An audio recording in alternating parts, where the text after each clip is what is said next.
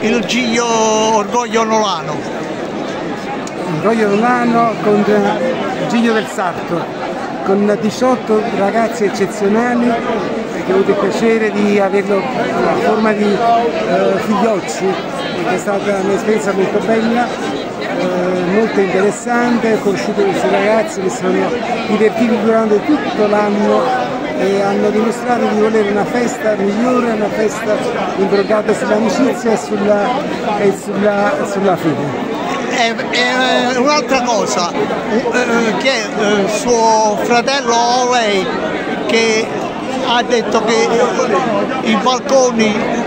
È stata una mia idea perché penso che in effetti Nolla dovrebbe presentarsi a tutte le persone che vengono, ai turisti, dovrebbe presentarsi nel modo migliore il modo migliore per presentare una città è quella di essere tutti in fiore, tutti in festa.